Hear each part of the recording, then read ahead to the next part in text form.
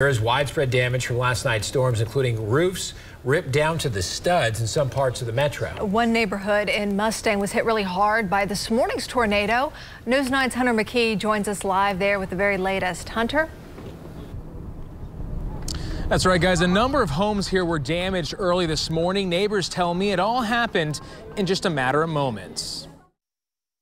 It was scary. It was scary. Never um, experienced a tornado like that. Neighbors are now left picking up the pieces after a tornado touched ground in this neighborhood near Southwest 44th and Czech Hall Road. We were woken up by the sounds of uh, things hitting the house and um, winds and um, just lots of noise. The tornado left some homes with parts of their roof torn off and fences could be seen knocked over with debris scattered across people's yards. One neighbor says it went from sounding like a normal storm to loud crashing noise noises in a matter of moments. Many took shelter. We jump out of bed and meet the kids in the living room because they were woken up too. And then um, we all got in the closet with the dogs and just kind of hunkered down. The News 9 weather team says the tornado first touched ground in this area before making its way through the metro. One person who lives just a few streets away says he was woken up by his phone and immediately heard the sirens go off, followed by some heavy wind. Went outside in the morning, just grass, limbs everywhere, the big ordeal kind of shocked that all this happened, really. As you can see, one neighbor even had their truck rolled on its side. Another house right next door also had parts of their roof damaged